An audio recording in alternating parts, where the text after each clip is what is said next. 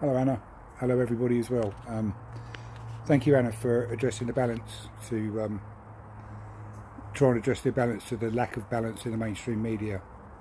And also thank you to everybody who sent a video into Anna's channel. Basically you've all confirmed my own personal research. My name's Roger. I'm 55 years old. I work as a long distance lorry driver and I live in Southampton I work permanent nights um, I wanted to talk about something other than the problems of the world because I want to try and bring a bit of positivity and light and maybe some hope to the situation. Um, I want to talk about something which I believe every single human being will have experienced in their life at some point and maybe not paid any attention to and that's coincidence you know that thing when you're sitting there one day and somebody pops into mind, you just have this idea of somebody. And uh, like I did a few few years ago, I was sitting there thinking about an old friend from 20 years ago. I don't know why I started thinking of Ted, Ted Carey his name is, and uh, wondered how he was. Remembered a few of the things that we used to do when we worked together, and then just forgot it, left it there. A couple of days later, I, I, I met my mum at Costa Coffee in Eastleigh, where near to where I live, and we were sitting outside, and I was absolutely gobsmacked because Ted Carey was walking down the road towards me. I was absolutely beside myself. I couldn't believe it. I ran up to him, and he he couldn't really remember me because I've changed. I had hair then, and I thought, wow, that's amazing. I was only thinking of you the other day, Ted, and I'd not thought of him for 20 years. There's another coincidence I had with a friend called Mark. He um, he invited me to go fishing with him one day, and uh, I'm not a fisherman, but I said okay, I'll go with you. and um, so I turned up at his uh, his fishing site, Romsey Lakes, and uh, he'd set a bivvy out. He was staying over the weekend, camping overnight, and he had four rods, two for him and two for me. I cast my rods out and we sat down in this beautiful vista enjoying the conversation two of us having a fantastic conversation enjoying the atmosphere. Didn't catch a fish. After about three hours mark said to me he says do you fancy a cup of tea Rog? I said yes please. So he said I have to go get some water out of the van. So he went to the van to get some water. And as he's gone I settled down in my chair and was just in absolute awe of the beautiful place where I was and I'm looking at these little birds flying in and scooping off the water. A moorhen and her little ducks climbing up on the bank. and Mark came back and he said, I'll put the kettle on, we'll re-bait the rods and throw them back out again. So we did. Cast the rods back out again. Now while I've been sat there, I was sitting there thinking, this is awesome. This is really awesome. I'd really like to catch a fish. Strange I haven't seen anybody catch a fish, but I'd really like to catch one. At least I'd like Mark to catch one or somebody to catch one so we can see a fish being caught. Mark made the cup of tea and come and sat down next to me. And within a few minutes, my rod started going off, the alarm on my rod. I couldn't believe it. I said, what do I do? What do I do? What do I do? And he said, pick your rod up, reel it in. So I reeled this fish in and caught an eight pound carp. I was beside myself. This is incredible. This is amazing and I'm loving it. Carefully took the fish off the hook. Mark said, hold it at arm's length, I'll get a picture and make it look bigger. so he put the fish back in the water and let it go. And I said to Mark, I said, I don't believe this. When you went to the van, I was just thinking it'd be really great to catch a fish. And now I've done it. And he said, I know, it's crazy. As I was walking to the van, I was thinking to myself, it'd be really nice if Rod could catch a fish. so my idea is about having a global coincidence. I know coincidence works. I know it works because I have coincidences frequently and often. You know, whether it's uh, phoning somebody and somebody will say to me, "God, Roger was just I was just thinking of you," or phone someone they'll go, "God, I was just about to send a text to you," or I think I've got to go and get a car parking space in Eastleigh and it's a it's a busy day, market day, and I need a, I need to be in and out of the shop really quick I need a car parking space right outside Oswald Bailey. And I drive into along the road and just as I pull up, there's no parking spaces. As I pull up outside the shop near enough where I want to be, car pulls out and gives me a space. It's not always that accurate and it doesn't happen every day, but they do happen. So I was thinking, wonder if we could have a global coincidence where, you know, we can create a difference? Because I believe this is a spiritual war not just a war of information that we're in. We're in a spiritual war. And I define spirit for you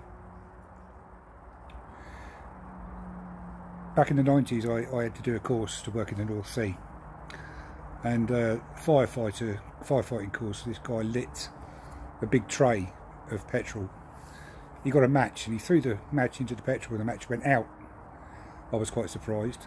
And he threw several matches into this petrol, and each time the match went out. And then he explained, he said, Now watch this. And he hovered a lit match just above the petrol, and it lit. Suddenly, this tray of petrol was on fire. And he explained that it's the petroleum spirit that's caught fire. It's the spirit which is explosive. A tank full of fuel isn't really much of a problem but an empty tank full of vapour is. and I got to thinking, well, what's spiritual about me then? I don't believe in God, I don't believe in spirits. I've got no problem with people who do. I've got a lot of respect for people who are religious. But I come to the conclusion that um, the things that with me are unseen are my thoughts and my feelings and my emotions. So with my thoughts and my feelings and emotions, they're the things that happen before I have a coincidence. I'm thinking about something, there's a certain feeling generated, and then it happens in the world. When the unseen spirit, petrol vapour, you ignite it with a match, it becomes seen. When I have a coincidence, the unseen thought becomes seen in the world. It can't, it's not difficult. You have a coincidence. If you, if you're a human being and you haven't had a coincidence, then maybe you're not looking.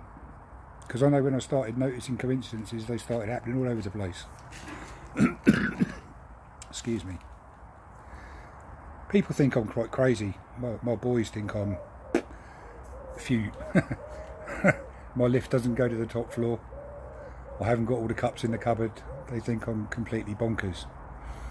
But, um, and so did my mum. And I was explaining these coincidences to my mum one day because I've had some amazing things happen. And uh, she was laughing at me. She was with me one day when um, we was meeting my uh, middle son for a KFC. And I said, we're going to get a parking space right outside KFC. And it was a Saturday and driving down the road and looking at the line of cars parked and there was no spaces. But again, just as I pulled up, car put his reversing lights on, drove out and I drove in. I couldn't have got closer to KFC my mum was originally laughing, saying, you're not going to get a car space, and I did. She couldn't believe it, neither could I, to be honest with you, but yeah, we did, got a parking space. The following week, I visited my mum, she's 83, she's my stepmum, she's a beautiful lady. And uh, she said, Roger, you're not going to believe what's happened. And I said, what?